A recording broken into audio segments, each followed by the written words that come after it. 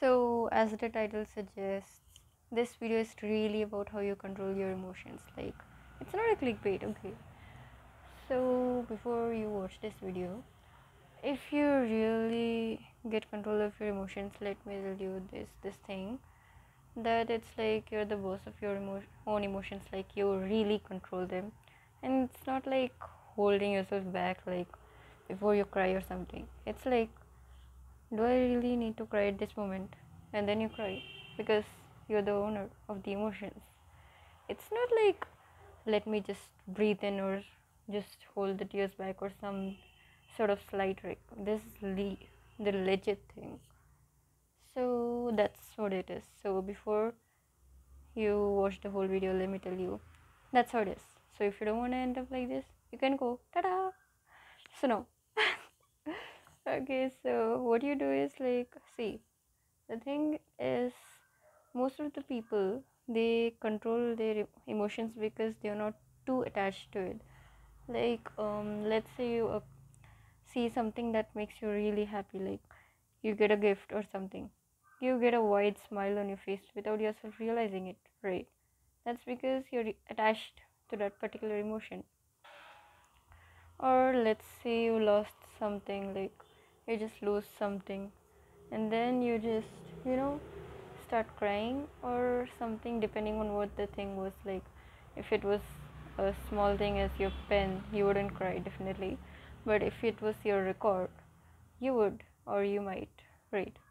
Depends on people of course but yeah.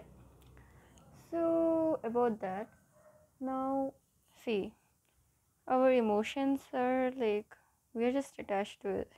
Like see this is the emotion and this is you the human. So if you just form a distance like if you just you know form a distance you can control it right? I chose to draw it to depict it visually because that's how it would make sense like okay let's say you have a person really close to you. You can't really control them unless they're at a distance, right? But hey, hey, hey, we are not talking about humans now. We're talking about your emotions. So, for to how do you detach from emotions? That's what you're thinking, right? So the thing is, before something happens, like let's say you get a gift, like you get this gift. Okay. Uh, so you would probably think, right? Like that this makes me happy or something or it might even depend on the gift it, what it is like uh, let me just draw it properly.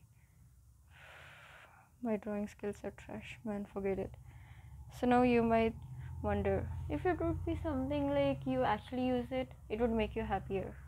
Like let's say it is a perfume that you like it would make you happier. But let's say it's some sort of makeup brush and you already have it wouldn't make you happier right? So there are like a lot of factors that control your happiness. Like if it was just a prank and not like a real gift it would just destroy all of your happiness in a single moment right? So it is not the gift that makes you happier. The thing is it's not the thing that makes you happier. You just set some emotions like if it's that it's gonna make me happier. And let's say if, if it was something unreal like a lottery ticket that's gonna give you like millions of dollars or something you know? I mean as much as that sounds unreal it would definitely make you happy because you have set that criteria in your mind that money is gonna make you happier. That's supposed that thing so the criteria that you have set in your mind like that's gonna make you happier that is gonna make you sad. Let's say it was some sort of dead cockroach. You might freak out right? At first you would freak out and give out the emotion of weirdfulness or disgust you know? Or you might just laugh at like what is this even? So you just have those criteria in your mind right? Like that is gonna give you that emotion and so and so. So if you just you know like i said here you are attached to your emotions because they are close to you. Like see this is emotions and this is the human you are. So you're really attached because there's nothing between you. So what if you create some sort of cl- conflict?